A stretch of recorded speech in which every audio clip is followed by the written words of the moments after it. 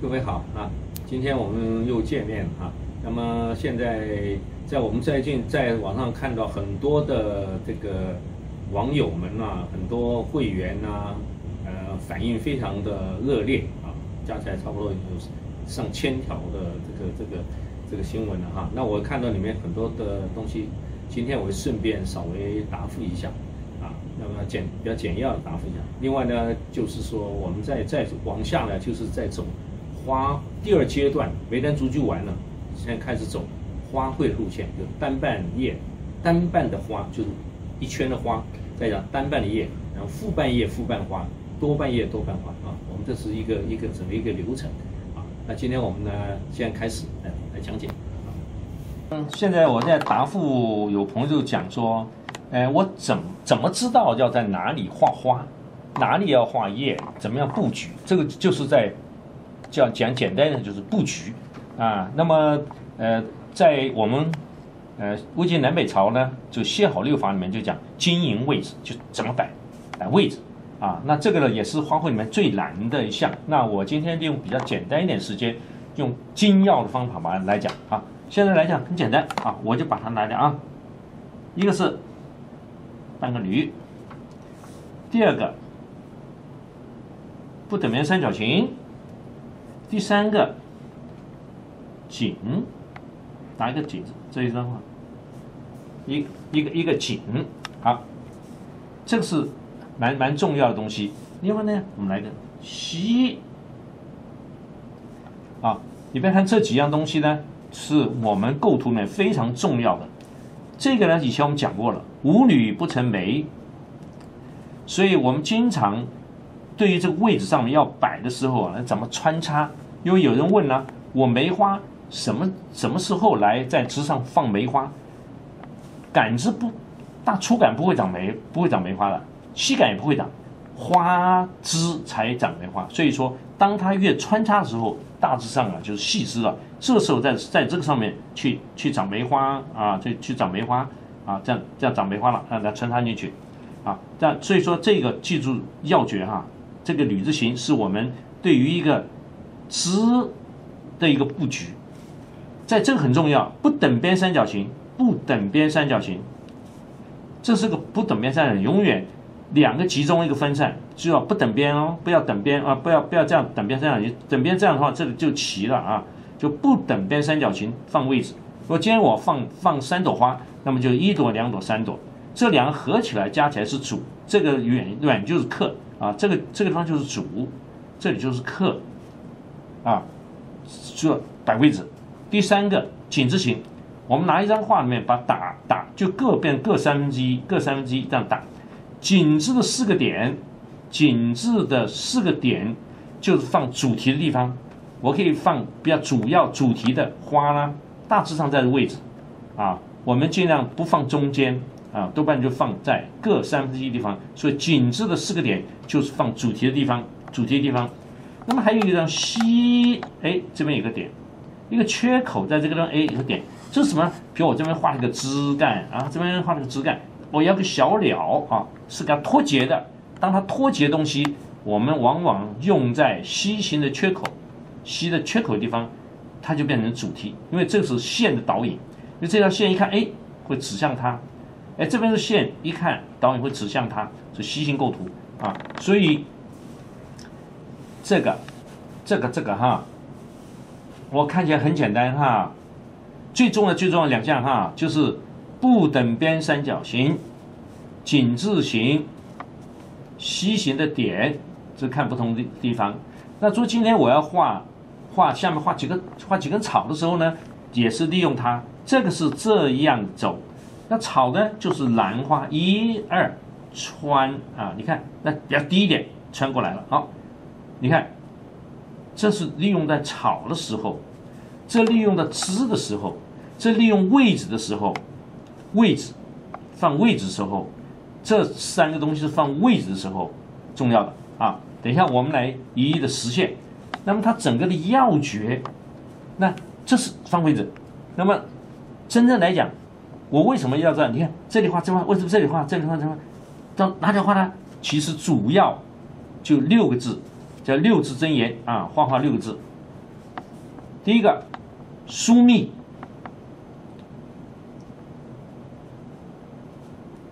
这里加起来是密，这里跑就是疏，疏就是客，密就是主主体啊。那这是放主题地方，那我不会那么规矩放，只是说我要向这边伸的时候，我可能这样放，这样伸我这么放。那为什么这样伸呢？它还有一个向背的问题，向与背。我的方向，我的方向方面要开阔啊，我的方向面面向的地方呢要开阔，背呢要靠山啊，我背要靠得近啊。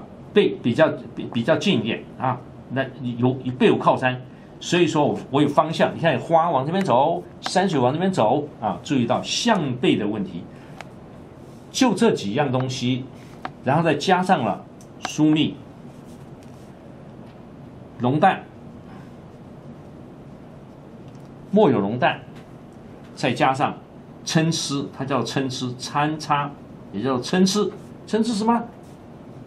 不要整齐，那它有个破，我们把把太整齐的地方，我们把破掉，不整齐。好，记住非常非常重要的六个字，六字真言，这是我自己发发明的句子啊，就是疏密、浓淡、参差，这是大概位置。然后你再把这再达到这个要求，就是你构图像中国构图起。讲翻了哇！你好像非常的神秘，这样不神秘，就这样，你就将来你就会了。好，以后我们画画呢，我陆续陆续把我这个理论呢印证在我王宏万的画里面。好，现在呢，这个我很概略的把它这个，就有有人问啊，这个怎么位置怎么放啊？哪里怎么放？怎么怎怎么弄？那。要一一分解很麻烦，我现在综合用个大的方法来讲，我们往后在画里面把这个这个理论放到里面去。有可能讲这个哈，讲了很久，但是但是呃不容易通啊，越复杂不通。好，那现在呢，我们今天呢，我们来画一个呃，就是单半叶单瓣花的，就是画呃先单半叶的，一般来讲画茶花啊，茶花里面呢，一开始的时候呢，我们会画用。线条来勾它，比如说双叫双钩法啊，双钩法。好，那么现在来讲的话，我就比如我画的时候，我要画三朵花、四朵花。那好，我现在就要来跟跟跟跟跟各位看，那我就预备一、一、二、三，我就用用这个哈，用这个位置，通放嗯放放放给你们看了啊，这样子。好，这是一片，两片。三片、四片、图片啊，这线条呢有轻有重，有轻有重，这叫做钉头鼠尾苗。这钉子头老鼠尾巴啊，苗有十八种苗啊。那在我们一般来讲，小雪最多就是会会用到钉头鼠尾苗啊，钉头钉头鼠尾苗啊。那好，这边完以后放一个位置，好，再来再来一个位置，我可以放这里，放这里，我可以放这里，放这里，不不等不等边。不等边三三角形的一个一个一个运用啊，来运用看啊，它有轻有重啊，钉子头老鼠尾巴，它拖啊，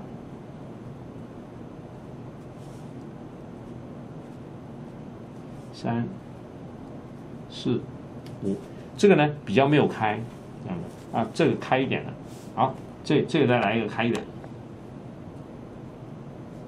我们利用这个轻重来表达一个物象的阴阳反折，同时也就等于说，我们对这个物象的一种情感，会用用这个线条来表达了哈。好，好，你看这三朵，一二三，哎哎哎，那这两个其中就是主，这个拉开就是客，就是客啊，就是客，然后这主题定下去了。然后我们再比如说在哪些空间，比如像哎在这里哎呦有点整齐了，哎一二三哎呦虽然是这样，但但它还不整齐。好，我在这里呢加点小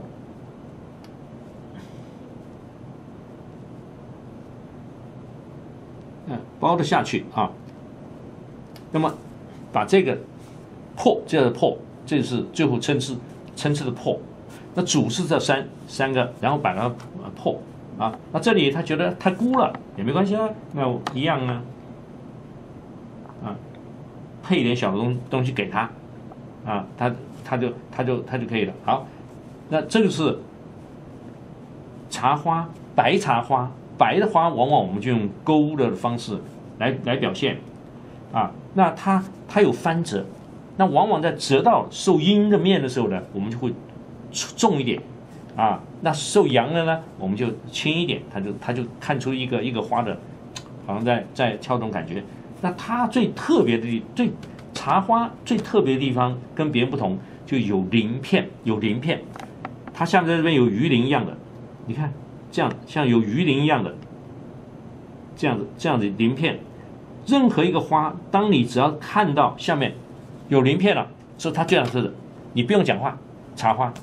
只有它有，只只是只有它有啊！你看它下面会鱼鳞鱼鳞一样的鱼鳞片，它是上一个下一个间接间隔起来的，它的鱼鳞包起来，那这就是这就是茶花。那这茶花是这个也会有，这两个没有，因为它它比较大，它翻起来了，翻以后呢就把挡到了啊。那说比如像这个是这片翻回去了哦，但它这时候有有鱼鳞片啊，你看它有它有鱼鳞。鱼鳞片出来，这都有，啊，这个也有，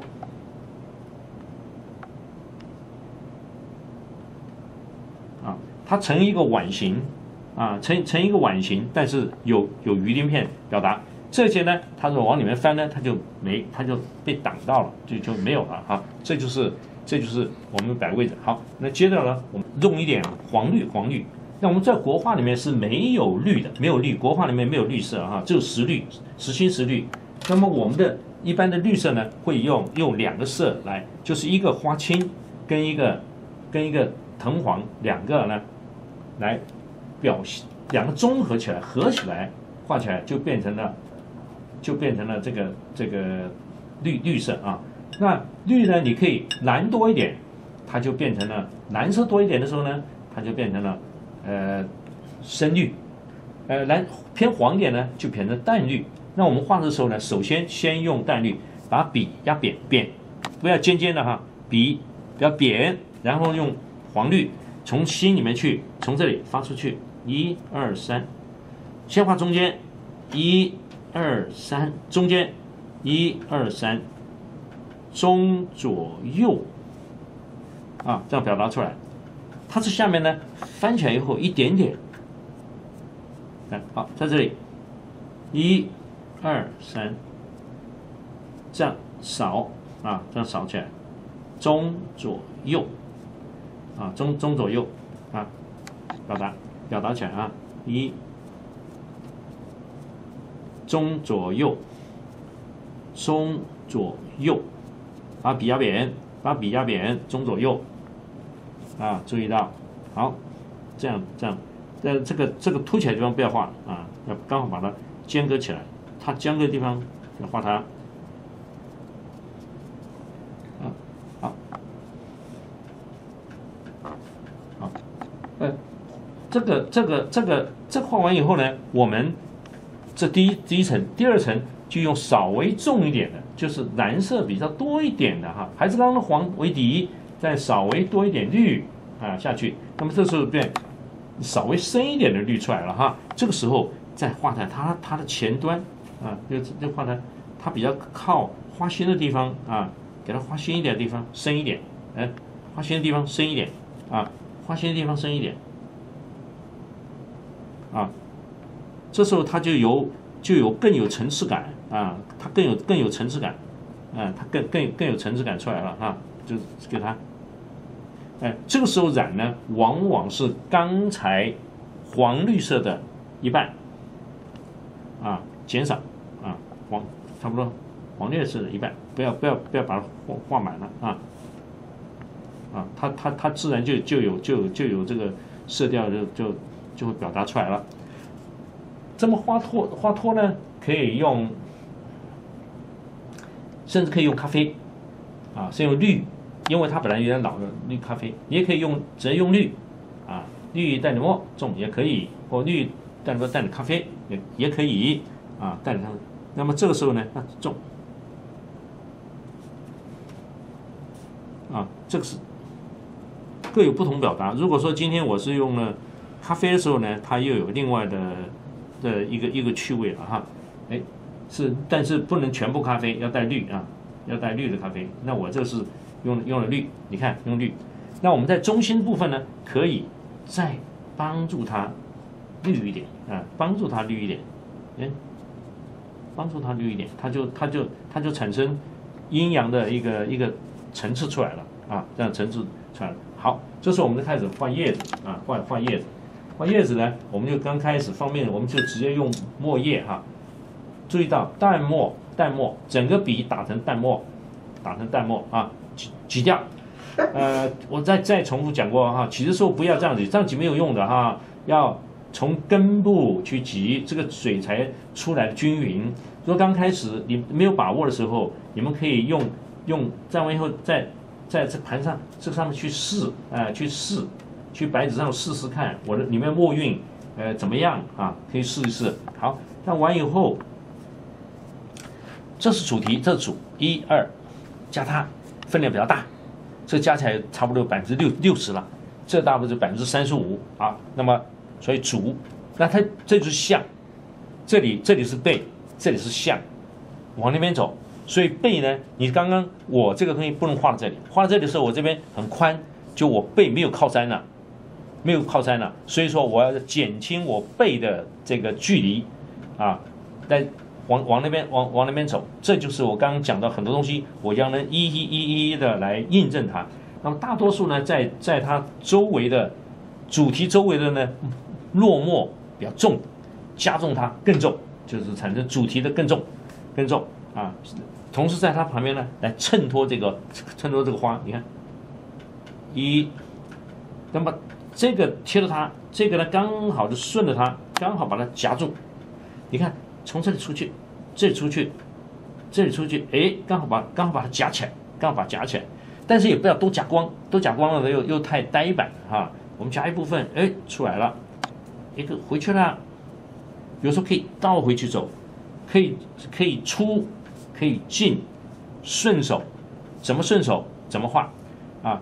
然后比如我，哎，我要在这里画，为什么要这边画？这里整齐了，所以哎，我让出去就是让它。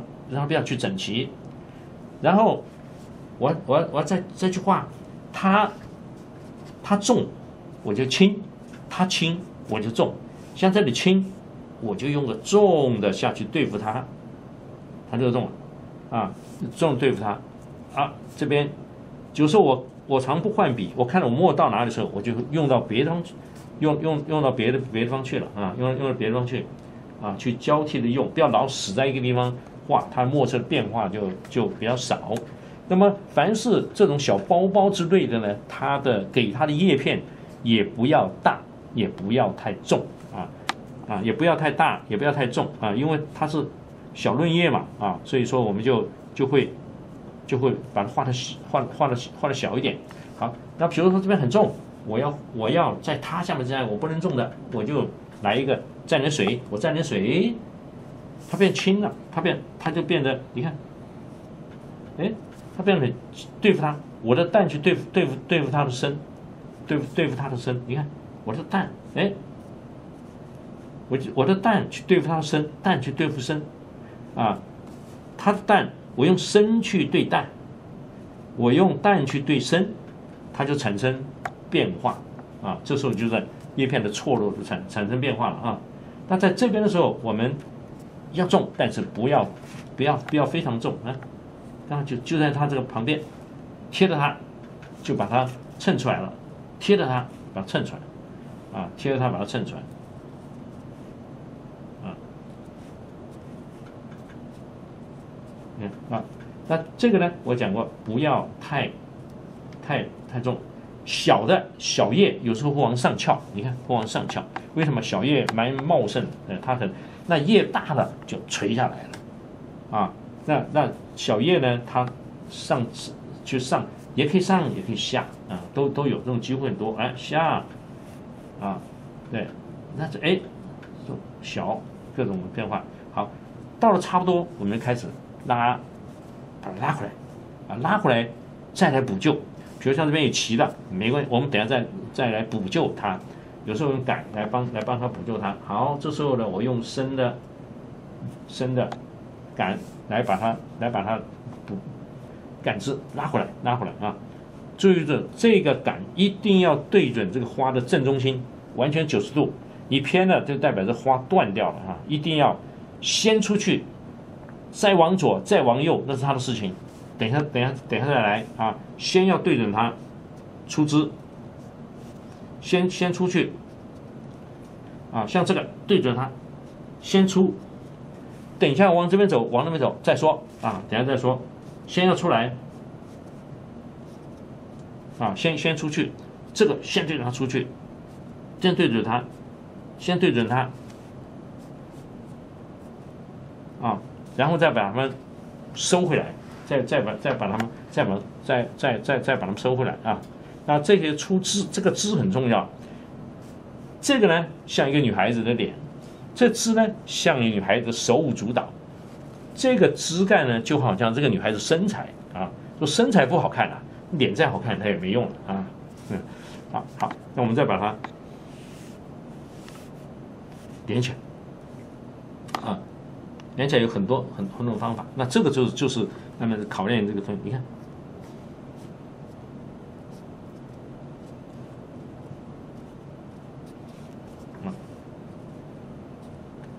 把它们连接起来啊，呃，我构图里面我没有，我我一直没有在画之前，我就先想我怎么画怎么画，我我不用以前要哈，以前我这样，呃，甚至在大学当老师的时候，我还要先要想想好一下啊，呃，现在就画太多了啊，因为什么？你可以后面来，只要你抓到了这六字真言，抓到方法，你什么图都能改，这时候你就不不怕任何的这个这个这个问题了哈。不就就不就不怕他的他的他的问题存在，能回就不回，不能回，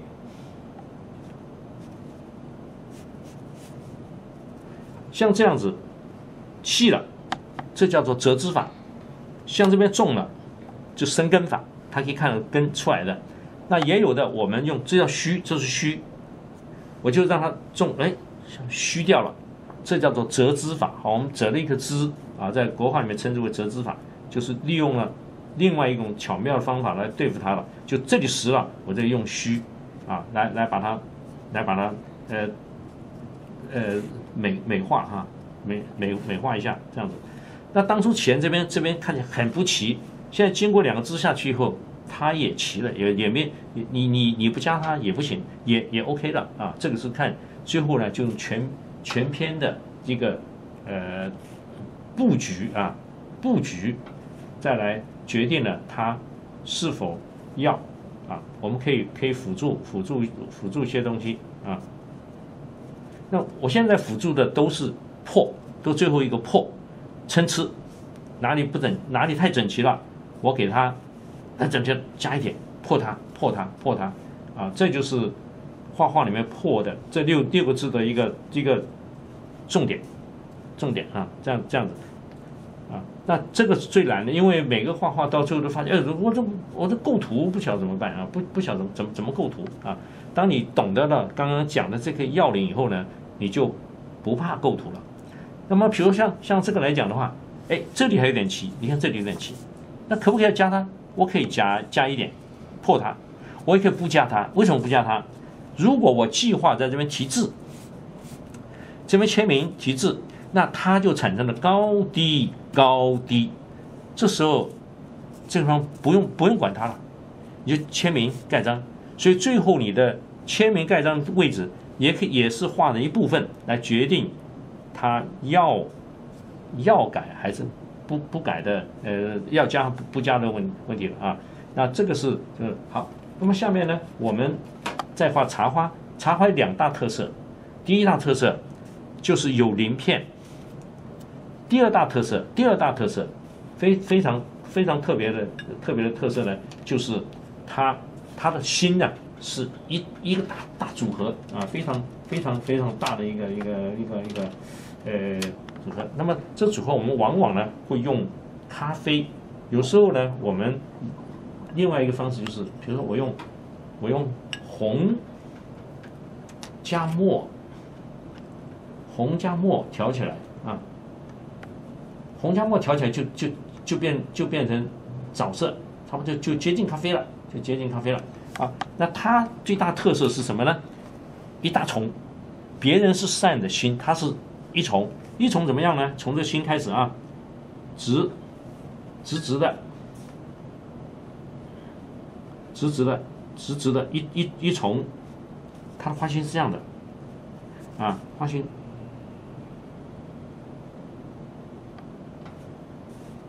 那我们呢，可以画很直，以后有一两笔插在里面啊，有一两笔给它交叉，不要完，也不要百分之百，通通都耸在一起，插在里面。它还有一根最长的会出来。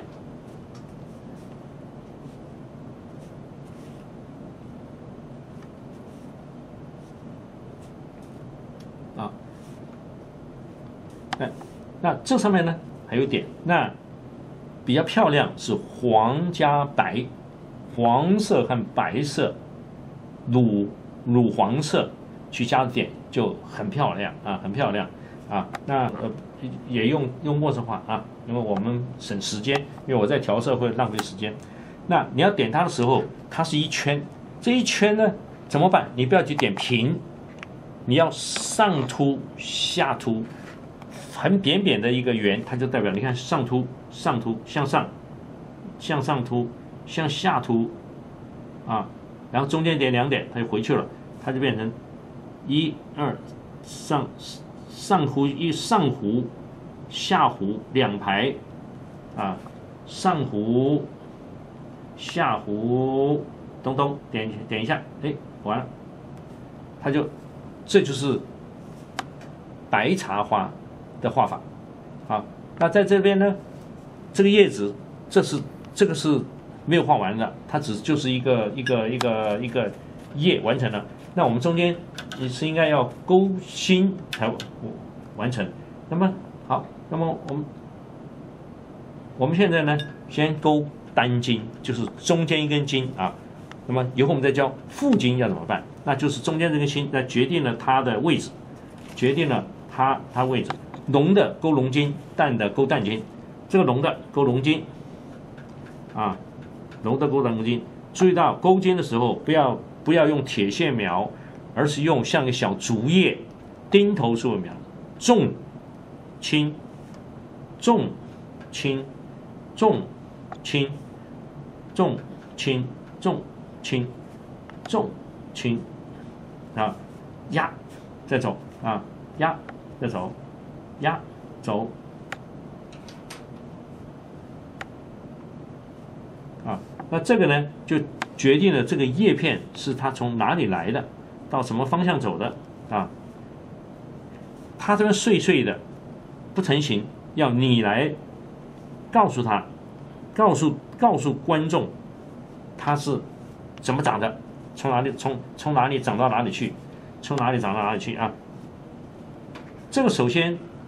这个要会画，然后以后呢，我们再再衍生，再再再衍生成副经，啊，副经在旁边再怎么加，那又是还有下面的一套一套道理，陆续我们也会也会来完成的啊。像像在这这里啊，哦，这里有点些，我呢在这边想要提个名字，盖个章，它的画面呢就就就是完整了。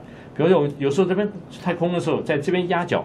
盖个压脚章，就是也叫做弦章啊，那产生红跟红的呼应啊，它这画就变得很很丰富了啊。那如果要更漂亮的时候呢，在在这白的部分呢，再用白的颜料去染一遍，它就更更突出，更就就更突出来来了哈。